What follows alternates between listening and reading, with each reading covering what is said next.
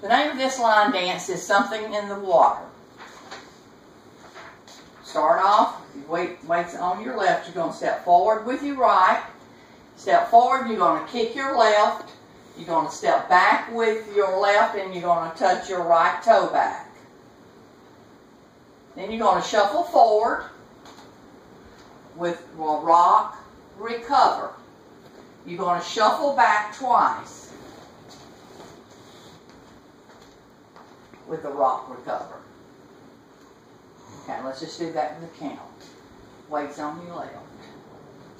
One, two, three, four, five and six, seven, eight. One and two, three and four, five, six, seven, and eight.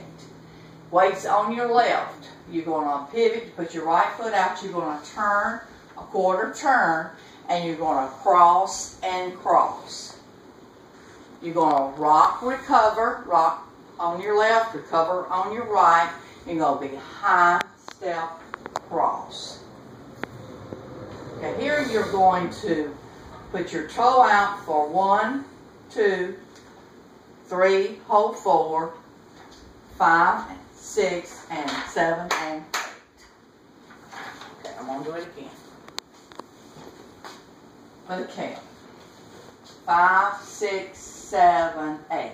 One, two, three, four. Five and six, seven, eight. One and two, three and four, five, six, seven, and eight. One, two, three, and four, five, six, seven, and eight. One, hold two, three, hold four, five, and six, and seven, and